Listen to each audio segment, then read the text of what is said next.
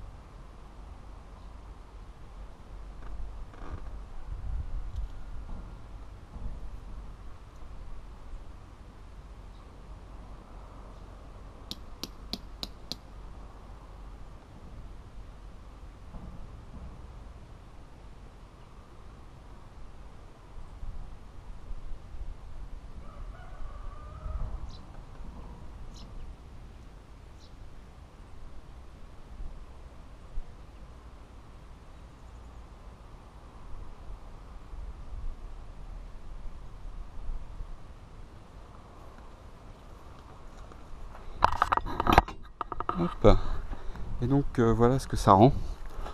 vous voyez en même pas 10 minutes.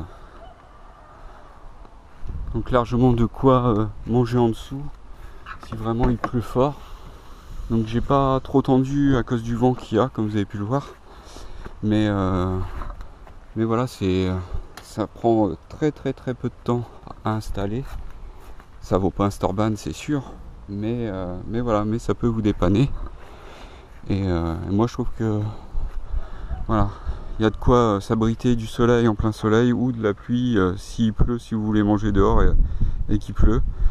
Donc là malgré, le vent. Mais euh, donc je suis monté au-dessus, mais par contre on peut le voir avec le vent, ça a bougé. Voilà, c'était pour euh, surtout pour le passer au-dessus du feu, puis euh, mais je l'ai pas assez, j'avais pas assez tiré vers le vers le porte-vélo. Donc moi la tâche c'est vraiment là au porte-vélo. Et ici, au niveau de la fenêtre. Donc après, suivant votre camping-car, vous pouvez toujours passer, si c'est un intégral, vous passez au-dessus du pare-brise vous allez l'accrocher au rétroviseur. Il y a vraiment très grand en corde. Et là de l'autre côté, voilà, si vous avez une autre fenêtre euh, de l'autre côté, et eh ben vous la bloquez euh, dans la fenêtre, euh, voilà, et vous refermez la fenêtre et vous faites un petit nœud derrière. J'ai perdu un petit peu de temps de l'autre côté parce que voilà, il y avait encore des nœuds à, ce niveau-là. C'est un message. On va arrêter ça. Voilà. Il y avait un petit nœud à ce niveau-là et donc, euh, donc j'ai perdu un petit peu de temps. Mais voilà, mais vous voyez que c'est vraiment très très très rapide à mettre en place. Voilà.